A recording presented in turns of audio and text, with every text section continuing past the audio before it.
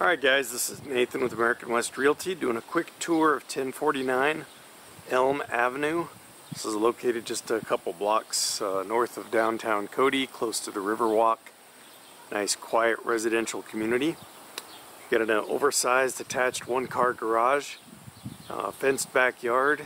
The house itself is four bedrooms, two baths, with a bonus room in the basement. It could be a fifth bedroom, but it's a non-egress window.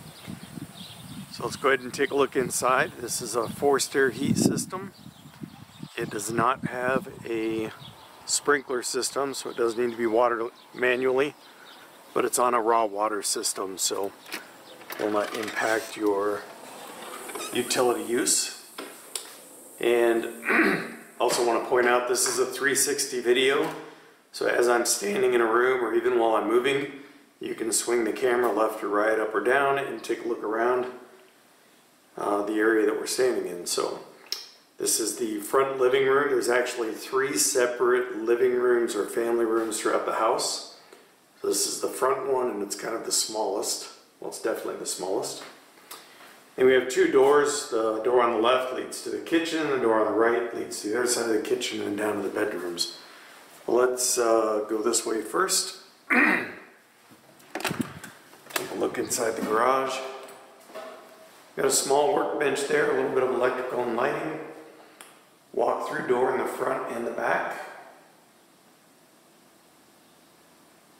Couple built-in storage cabinets. The door is on an opener.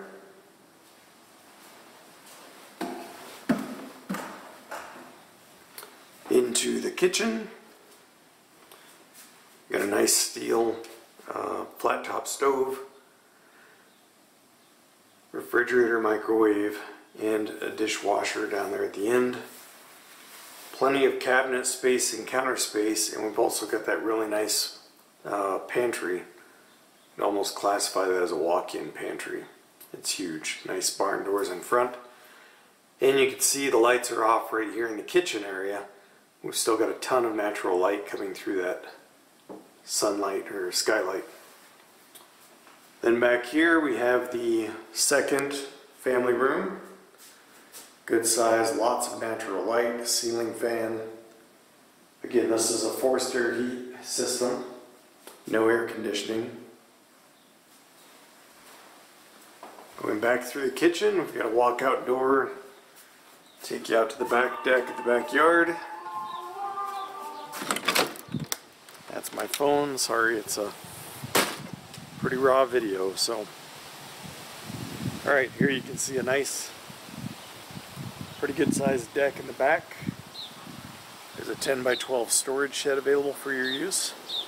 Backyard is fully fenced. We've got walk through gates on each side. Makes it easy to get a mower or something up to the front. Also got some space for gardening and things. Uh, over here to my left it wraps around to the garage uh, but I won't take you there because I'm barefoot and the ground is kind of dirty. There is a pet door in this back door, but this is under new ownership and the new owners will not allow animals in the rental. So this is a no animal property.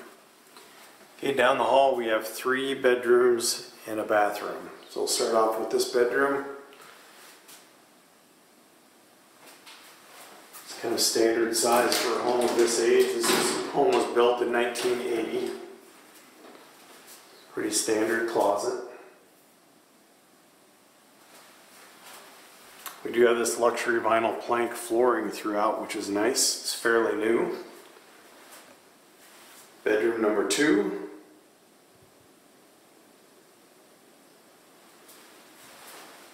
And then bedroom number three, which is the smallest of the three upstairs.